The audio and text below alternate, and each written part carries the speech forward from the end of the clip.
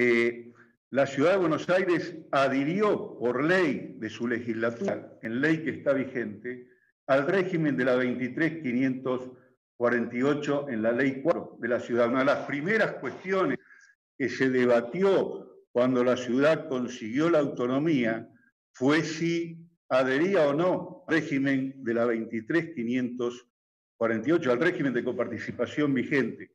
Y la ciudad de Buenos Aires, a través de su legislatura, adhirió y así lo hizo saber. Es decir, que la ciudad de Buenos Aires acepta el régimen vigente normado por eh, la 23.548.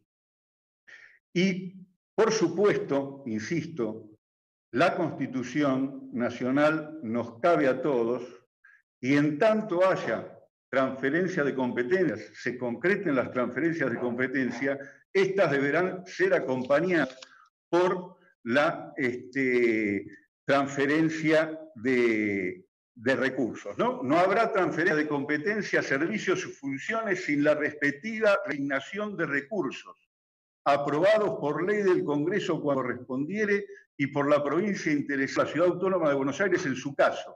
Así reza el párrafo del 75, inciso 2. Fíjese que ahí no está la mención a la automaticidad en la transferencia de los recursos, que está un par de párrafos más arriba, y se refiere a que tienen que ser automáticos los recursos que se transfieren en función de la participación, no aquellos que se transfieren en función de la transferencia de competencia. Son dos cosas diferentes, por eso el principio decía, estas dos cosas que son en principio diferentes, se mezcló y esta mezcla generó, si me permite el término, un entuerto, este, a mi modo de ver, que es lo que está tratando, a mi modo de ver, de ordenar con el proyecto de ley que eh, se, está debatiendo. Por suerte, eh, por suerte, que, no suene, eh, digo, la ciudad de Buenos Aires es la única jurisdicción que no depende de la coparticipación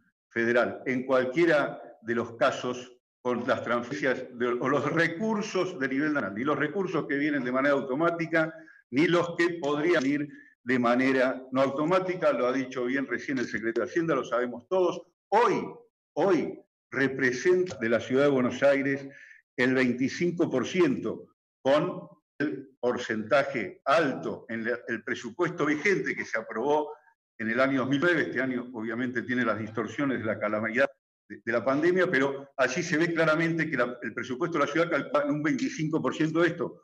Pero, pero en aquel momento el 1,4 no presentaba ni el 10% de los recursos.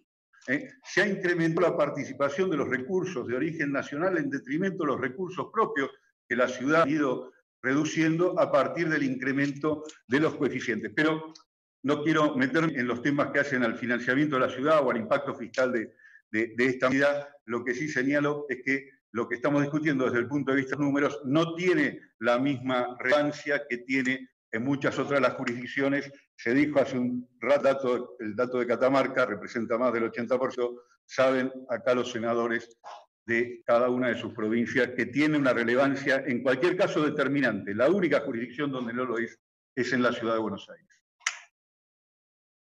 Muchas gracias.